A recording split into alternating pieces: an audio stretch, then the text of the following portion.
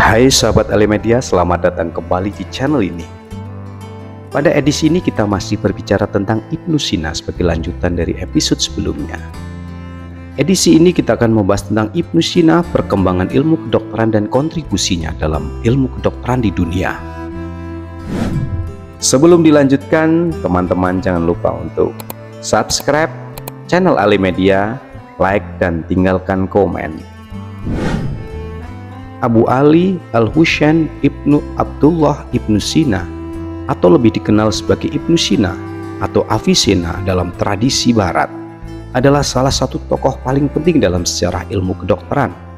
Dilahirkan pada tahun 980 Masehi di wilayah yang sekarang masuk negara Uzbekistan. Ibnu Sina menghasilkan banyak karya dalam berbagai bidang ilmu, tetapi karyanya yang paling terkenal adalah Al-Qanun fi Al-Tib atau dalam bahasa Inggris The Canon of Medicine. Dalam edisi ini kita akan menjelajahi konsep-konsep penting dalam karya monumental ini serta dampaknya terhadap perkembangan ilmu kedokteran di dunia. Ibnu Sina lahir di desa Afsana dekat Bukhara di wilayah yang sekarang masuk Uzbekistan. Pada masa kejayaan kekaisaran Persia Samanid, Ayahnya adalah seorang gubernur dan administrator yang terampil yang memperkenalkan Ibnu Sina pada berbagai cabang ilmu pengetahuan sejak usia muda. Kehidupan di rumah keluarga Ibnu Sina sangat mempengaruhi minat dan bakatnya dalam bidang kedokteran dan ilmu pengetahuan. Sebagai anak muda, Ibnu Sina menunjukkan bakat luar biasa dalam belajar dia belajar bahasa Arab dan Persia serta mempelajari Al-Quran dan ajaran Islam. Namun minat utamanya adalah dalam bidang ilmu pengetahuan alam, matematika, dan kedokteran. Pada usia yang masih muda, dia telah menunjukkan pemahamannya yang luar biasa tentang kedokteran dan pengetahuan alam yang memandunya untuk melanjutkan studi di universitas-universitas terkemuka pada masa itu. Pada usia yang relatif muda, Ibnu Sina mulai menulis The Canon of Medicine, sebuah ensiklopedia medis yang monumental yang akan menjadi salah satu karya paling berpengaruh dalam sejarah ilmu kedokteran. Karya ini dirancang untuk menjadi panduan komprehensif bagi praktisi kedokteran yang mencakup segala sesuatu mulai dari teori kedokteran hingga praktik klinis. Ibnu Sina menghabiskan bertahun-tahun untuk menyelesaikan The Canon of Medicine yang mencerminkan pemahaman mendalamnya tentang kedokteran pada masa itu. Dia merangkum berbagai pengetahuan kedokteran dari dunia klasik, termasuk karya-karya dari dokter Yunani kuno seperti Galen dan Hippocrates, serta pengetahuan kedokteran tradisional Timur Tengah dan Asia Tengah. Karya ini terdiri dari lima volume yang mencakup berbagai aspek ilmu kedokteran.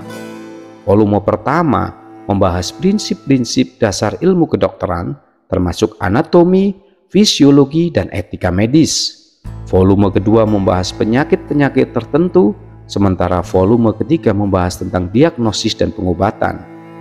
Volume keempat membahas tentang obat-obatan dan perawatan, Sementara volume kelima menutup dengan topik-topik terkait seperti diet, kesehatan mental, dan pencegahan penyakit.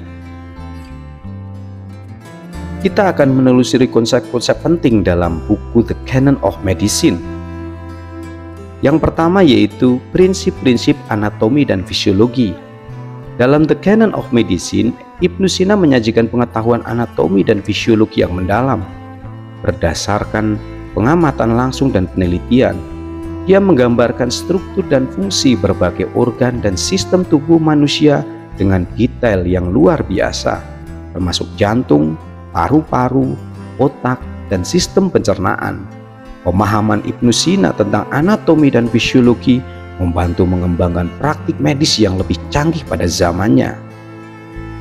Yang berikutnya yaitu teori penyakit. Ibnu Sina mengembangkan teori yang menyatakan bahwa Penyakit disebabkan oleh ketidakseimbangan dalam empat sifat dasar tubuh, yaitu panas, dingin, kering, dan basah. Menurutnya, penyakit terjadi ketika ada ketidakseimbangan dalam keseimbangan alamiah ini. Teori ini mempengaruhi praktik pengobatan selama berabad-abad dan menjadi dasar bagi banyak praktik pengobatan tradisional di timur dan barat. Yang ketiga yaitu diagnosis dan pengobatan. Dalam The Canon of Medicine, Ibnu Sina membahas metode diagnosis yang komprehensif, termasuk pemeriksaan fisik, pengamatan gejala, dan pemeriksaan urin. Dia juga membahas berbagai metode pengobatan termasuk penggunaan obat-obatan, perawatan bedah, dan intervensi psikologis. Pendekatan ini membantu menetapkan dasar bagi praktik klinis modern. Kemudian yang keempat masih dalam buku The Canon of Medicine yaitu obat-obatan dan farmakologi.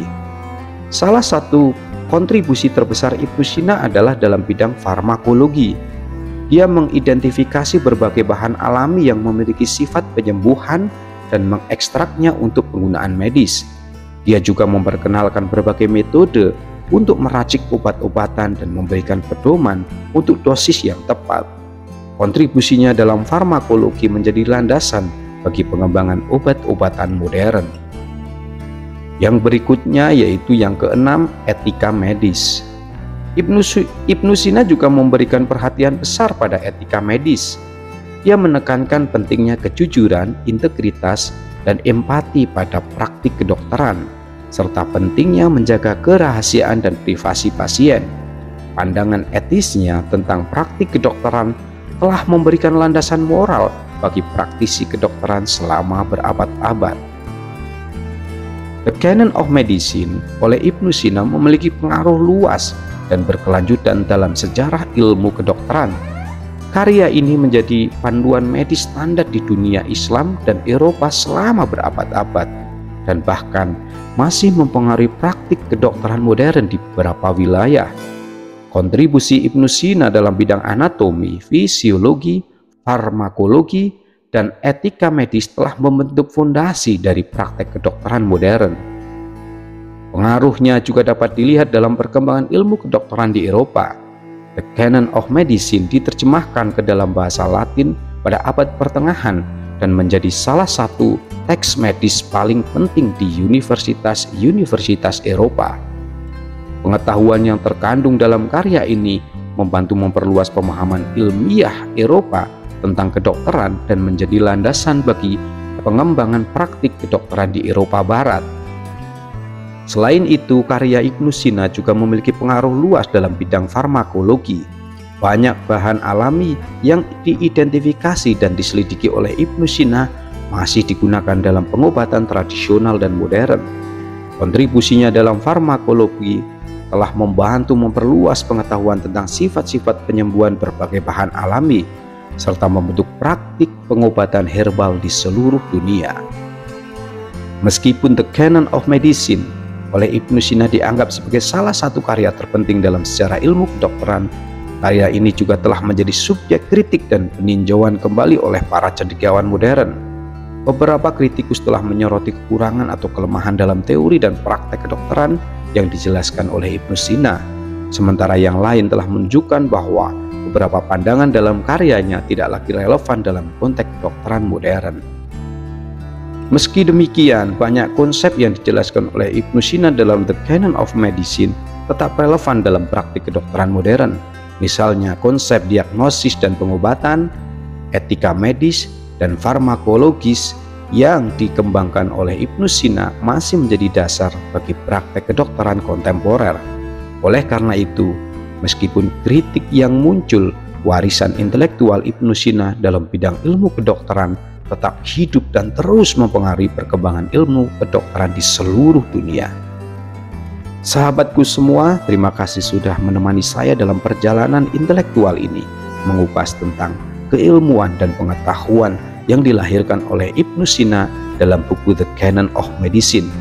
Terima kasih sudah mengikuti perjalanan ini, semoga perjalanan pengetahuan kita ini bermanfaat. Jangan lupa untuk like dan subscribe channel Ali Media, tinggalkan komen dan share ke sahabatmu barangkali konten ini bermanfaat. Sampai jumpa di edisi berikutnya. Terima kasih. See you next time.